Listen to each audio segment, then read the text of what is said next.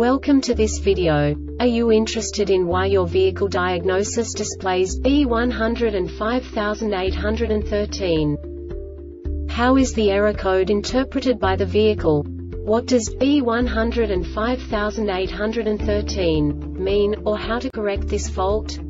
Today we will find answers to these questions together. Let's do this. First, let's look at the history of diagnostic fault code composition according to the OBD2 protocol, which is unified for all automakers since 2000.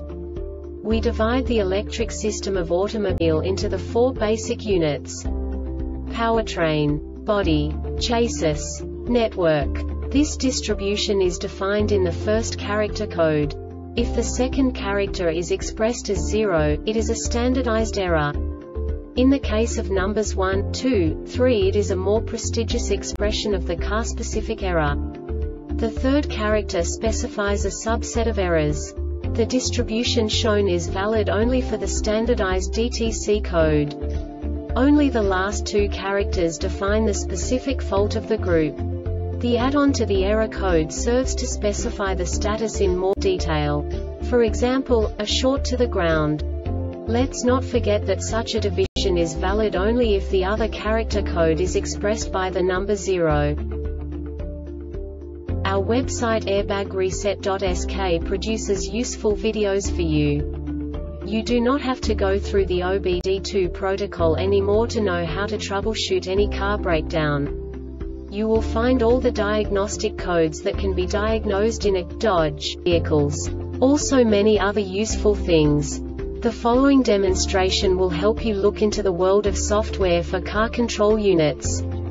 You unbelievably can move the video a bit further.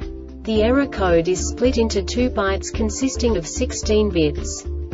One bit is the basic unit that each computer works with. The bit has two logical states. 0, low level, 1, high level. By combining the first two bits, the basic character of the error code is expressed. The next two beats again determine the second character. The last beat styles of the first byte define the third character of the code. The second byte is composed of a combination of 8 bits. The first 4 bits determine the fourth character of the code. And the combination of the last 4 bits defines the fifth character. A single byte conceals 256 possible combinations. We now know in what way the diagnostic tool translates the received information into a more comprehensible format. The number itself does not make sense to us if we cannot assign information about it to what it actually expresses.